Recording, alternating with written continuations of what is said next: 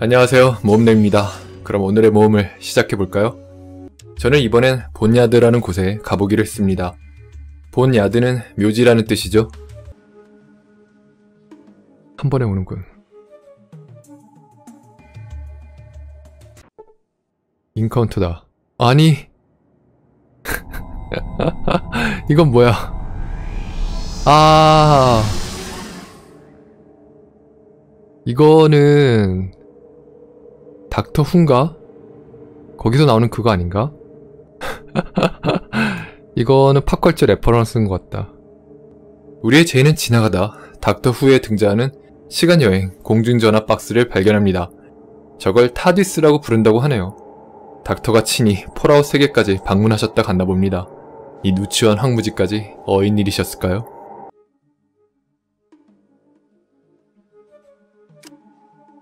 자, 본야드에 도착했습니다. 지도 왼쪽에 빨간 글씨로 로스앤젤레스라고 적혀 있습니다. 즉 본야드는 전쟁 전 LA였던 겁니다. 본야드는 에인젤스 본야드라고도 불리는데요. 천사의 무덤이란 뜻이죠. 핵폭탄이 떨어진 후 살아남았던 LA 시민들은 몇 주 혹은 몇 달 안에 거의 다 죽고 맙니다. 방사능과 질병과 기아와 폭력 때문에요. 도시는 화염과 충격 때문에 앙상하게 뼈만 남습니다. 그리고 수많은 사람뼈도 도시 전체에 수북히 쌓입니다. 일부 LA 주민들은 시범용 vault에 들어가 살아남는데요. 시범용 vault가 뭐냐 하면 모델 하우스 같은 걸 생각하시면 됩니다. Vault-Tec 회사가 사람들에게 선전하기 위해 만든 vault인데 이게 LA에 하나 있었습니다. 이 vault로 피신했던 대부분의 사람은 2092년 vault에서 나와 천사의 무덤에 새로운 정착지를 건설합니다. 그렇게 본야드 지역의 첫 마을, 에디타운이 생깁니다. 그런데 2155년 마스터란 존재가 LA 볼트의 위치를 알아내고는 그곳에서 무슨 일을 벌이는데요? 그건 나중에 얘기하도록 합시다. 마을 입구에 들어서면 경비가 가로막습니다. 이들은 에디타운을 지키는 레귤레이터란 세력입니다. 마을의 시장 존 짐머맨이 고용한 용병 집단입니다. 시장 짐머맨을 만나봤습니다. 시장은 굉장히 슬픈 얘기를 들려줍니다. 블레이드라는 깽단이 아들을 납치해서 고문하고 잔혹하게 살해해 마을 입구 앞에 창에 꽂아 전시했다는 겁니다. 블레이드의 리더 레이저를 죽여달라고 간곡히 부탁합니다. 아무리 무법 세상이라지만 그런 나쁜 놈들은 가만히 둘 수 없죠. 제이는 기꺼이 부탁을 들어주겠다고 합니다. 블레이드의 본거지까지 왔습니다. 건물에 면도칼 광고 사진이 붙어있죠. 그래서 조직 이름을 블레이드라고 지었나 봅니다. 리더 이름은 레이저인데요. 우리말로 면도날이라는 뜻이죠. 여담으로 달과 6펜스로 유명한 서머싯 몸은 면도날이란 제목의 소설을 지은 바 있습니다.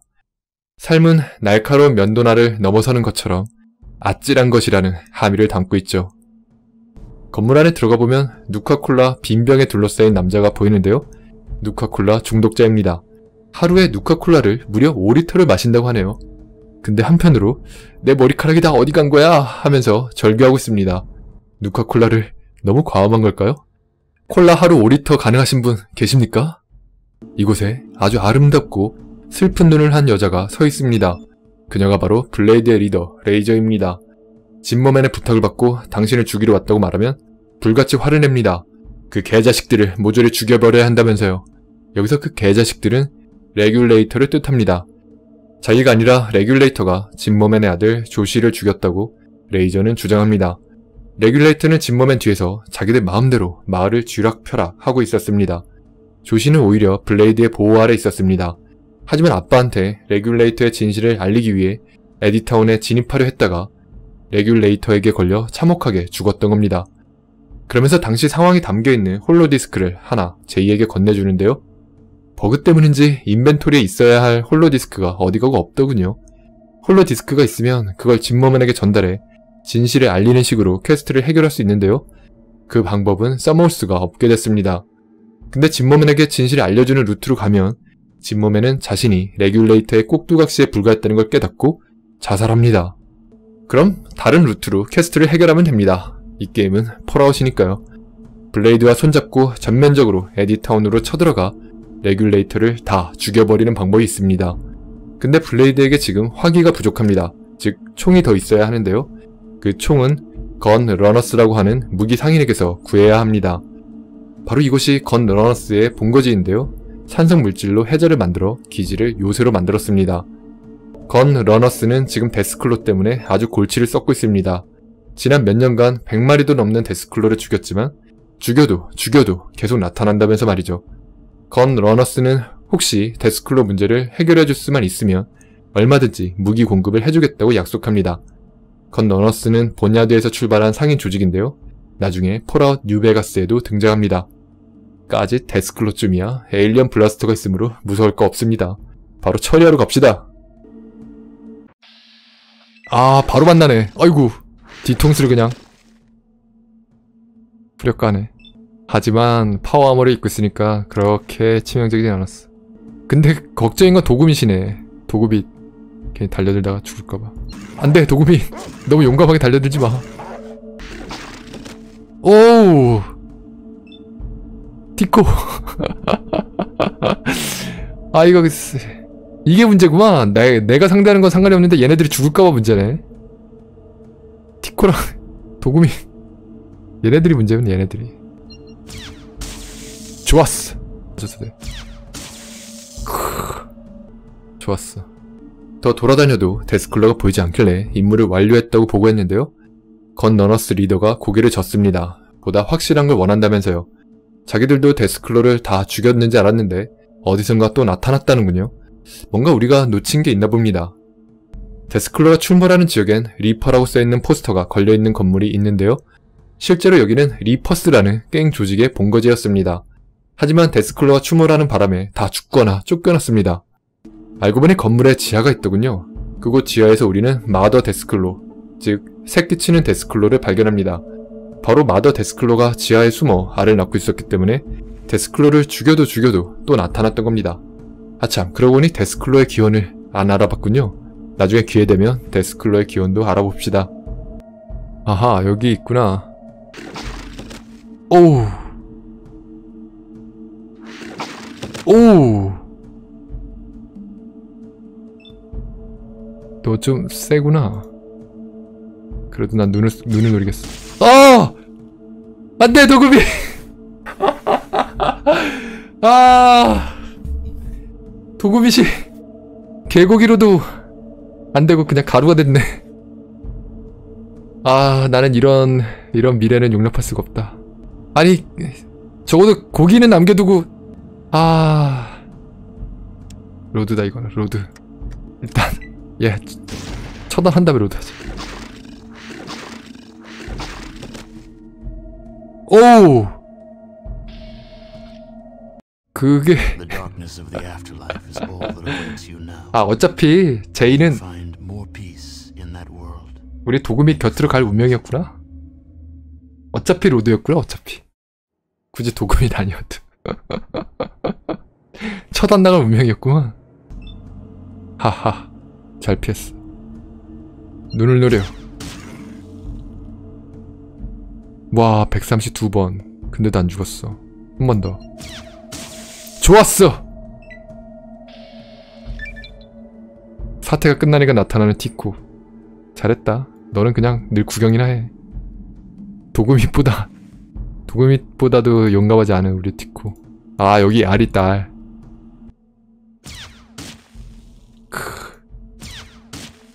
알을 깨버려.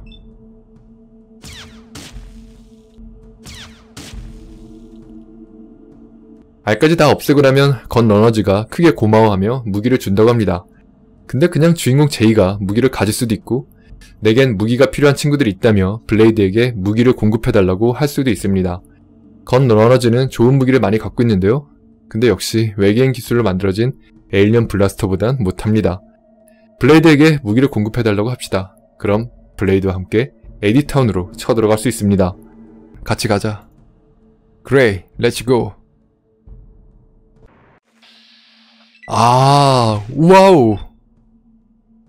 바로 드르륵 하네. 자식들. 그리고 선봉은 도그밋이야. 심지어. wow. 야, 얘네들이랑, 야, 누가 시민이고 누가 지금 적이냐.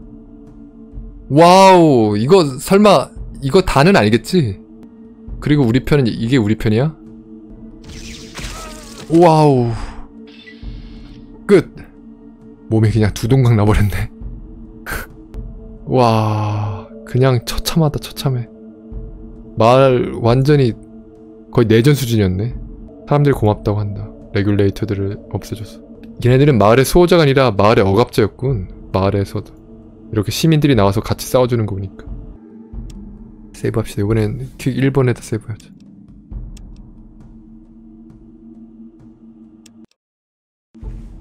어? 도구밋? 설마 아 여기 있다. 어우 깜짝이야. 어 도구밋. 도구밋 너 체력은 지금 빵빵하니? 보자. 어? 도구밋이 아니야? 도구밋이 아니야 얘? 그냥 개야? 그냥 도구라 나오는데? 아 그래 우리 도구밋은 어디 갔어? 아 나 지금 세이브 했는데 너 Dogmeat 아니니? 아 잠깐만 거기 Dogmeat 시체라도 찾아봐 그러면 시체를 눈으로 어? You see a dead Dogmeat? 아...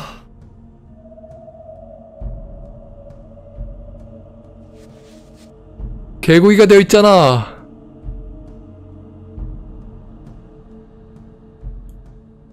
아... 아... 구비... 아... 이런... 아이 처참하게 그냥 피 흘리고 죽어 있네. 아... 머리를 긁적이는구만. 우리 제이 이거 어떡하나 이러고. 정크타운부터 제이와 늘 함께하던 우리의 도구빗은 그렇게 갔습니다. 근데 마을의 시장 진모맨도 보이지 않는데요? 알고 보니 레귤레이터와의 전투가 시작됐을 때 레귤레이터에게 처단당했던 거였습니다. 진모맨을 살릴 수 있는 방법이 존재하긴 한다는데요. 읽어보기만 해도 극도로 어렵고 복잡하더군요. 원래 죽는 것으로 의도된 인물을 살리는 거라 까다로운 여러 단계를 거쳐야 살릴 수 있습니다. 마을에는 화학자 마일즈가 있는데요. 마일즈는 마을의 수경재배 농장이 제대로 돌아가지 않는 걸 걱정합니다. 그 문제 해결을 도와주면 마일즈는 power armor를 업그레이드 해줍니다. 그러면 강화, power armor가 되는데요. 일반 power armor보다 damage 저항과 감소가 크게 증가합니다. 또 대장장이 스미티도 있는데요. 스미티는 웨스트테크 연구시설에서 구했던 plasma rifle을 turbo plasma rifle로 업그레이드 해줍니다. Turbo plasma rifle은 거의 alien blaster만큼이나 좋습니다. Damage는 살짝 떨어지지만 사정거리가 훨씬 깁니다. 본야드에는 팔로워스 오브 더 아포칼립스라고 부르는 세력도 존재합니다. 줄여서 Follower라고 부르는데요. 인류애를 설파하는 비폭력 평화주의자 집단입니다. 근거지도 심지어 도서관입니다. Follower는 나중에 폴아웃 뉴베가스에도 등장하죠. 오, We hope you have found our humble abode to your satisfaction. 아이고 스타일 있으신 언니인데 하쿠파인데 되게 멋지다. 이게 이 미스매치가 굉장히 멋지네. 평화를 신봉하는 하쿠파인데 스타일이 있으셔. 그 나의 편견을 깨주는 스타일이야. 굉장히 공부를 열심히 하는 평화주의자의 인상은 아닌데 평화주의자인가 봐. 얼굴은 온화해 보이시네. 좀 약간 그 평화와 온화한 기운이 그냥 스르르 확실히 인상이 좋으시다. 헤어스타일이 강렬해서 그렇지. 이 멋진 누님의 이름은 니콜입니다. 팔로 우어의 창립자입니다. 얼핏 상당히 터프해 보이시지만 폭력은 절대 어떤 문제도 해결할 수 없다는 강한 신념을 갖고 있습니다. 겉모습으로 사람을 함부로 판단해선 안 되겠죠? 니콜에게서 들을 수 있는 중요한 얘기는 이 근처에 대성당의 아이들이라 불리는 세력이 있다는 정보입니다. 앞으로 그냥 아이들이라 부르겠습니다. 아이들도 팔로우어와 마찬가지로 겉으론 평화를 원하는 듯이 보입니다. 사람들에게 병원도 제공하고요. 하나 다른 건 아이들 의견에 동의하지 않는 사람들은 그저 실종된다는 겁니다. 무시무시한 평화죠. 내 의견에 동의하지 않는 사람을 모두 제거하고 나면 평화가 오긴 올까요? 아무튼 니콜 누님은 아이들이 뭔가 사악한 신을 섬기는 것 같다고 말합니다. 또 그들이 신전에서 뭔가 꿍꿍이를 꾸미는 것 같답니다. 니콜은 아이들 세력 속에 스파이를 하나 심어놓았는데요. 그 스파이의 이름은 로라입니다. 대성당에 가서 Red Rider라는 암구호를 말하면 로라가 도울 거라 말해줍니다. 도서관 한쪽에는 ghoul이 서 있는데요. 이곳에 웬 ghoul인가 싶죠? 놀랍게도 이 ghoul은 우리의 주인공 제이와 똑같은 Vault 13 출신입니다. Overseer가 water chip을 찾으라고 내보낸 사람입니다. 제이 이전에도 water chip 찾는 임무를 띠고 나갔던 Vault 거주자가 있던 겁니다. 근데 불행히도 이 ghoul은 중간에 super mutant에게 잡혀 마리포사 군사기지로 끌려가고 말았고 그곳에서 녹색 통에 퐁당퐁당 담기는 운명에 처해졌습니다. 근데 슈퍼 뮤턴트가 되지 않고 희귀하게도 전에 봤던 해롤드처럼 구울 비스무리한 뮤턴트가 됐습니다. 그런 그를 나중에 팔로워가 발견해 구출해줬고 그 이후 여기서 살고 있는 겁니다. 아니 이거 완전 평행세계 제2의 운명이잖아.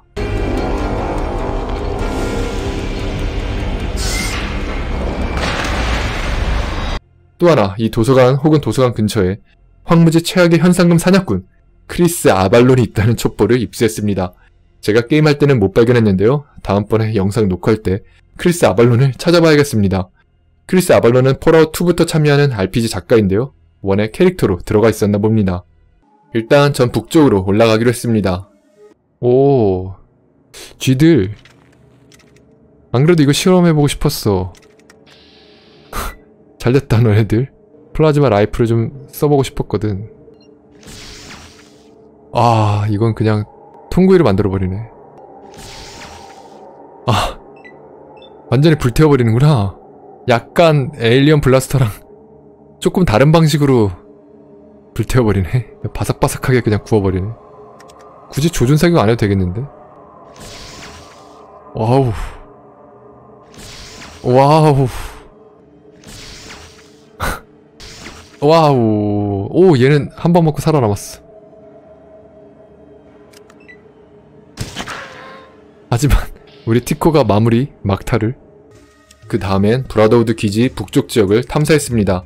Mutant 군대가 집결하고 있다는 소문이 기지 북쪽이었기 때문입니다. 마침내 수상한 기지를 발견했습니다. 과연 듣던 대로 mutant가 중무장한 채 득식을 거립니다. 평행세계에서 당한 것도 있고 하니 당장 혼내주고 싶지만 일단 참읍시다. 우선 브라더후드에 소문이 사실이었다고 보고합시다. 엘더, 즉 장로들에게 소문이 사실이었다고 보고하고 선제 공격이야말로 우리가 할 일이라고 설득할 수 있습니다. 다만 은밀히 습격해야 하기 때문에 특공대를 조직하자고 합니다. 설득에 성공하면 장로는 제이에게 브라더를 딸려 보내줍니다. 이제 그 나쁜 놈들을 혼내줄 때인가 봅니다.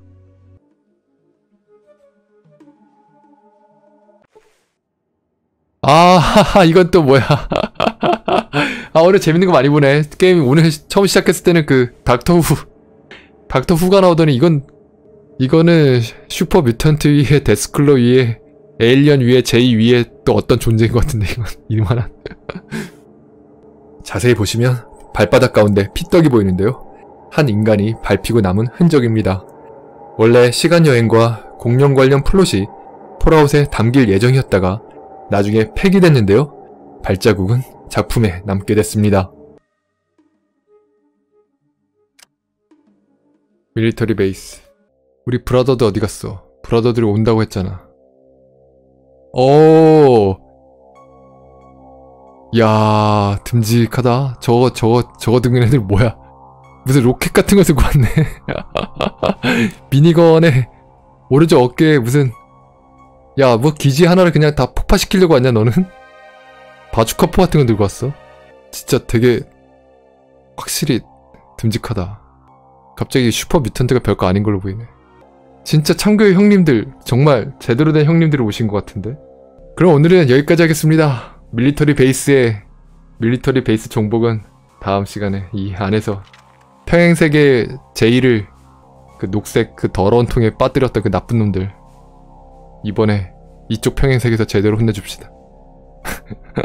뺨 맞은 건 저쪽 평행세계지만 뺨, 뺨을 때, 때리는 건 우리가 되돌려주는 건 요쪽에 와서 해줍시다. 걔는 영문도 모르고 선빵을 맞는 거겠지만 우리는 알잖아요. 우리끼리만 알고 있으면 됐지 뭐. 그럼 다들 안녕히 주무시고 내일, 내일도 즐거운 하루 보내세요. 지금까지 모험리였습니다. 안녕히 계세요.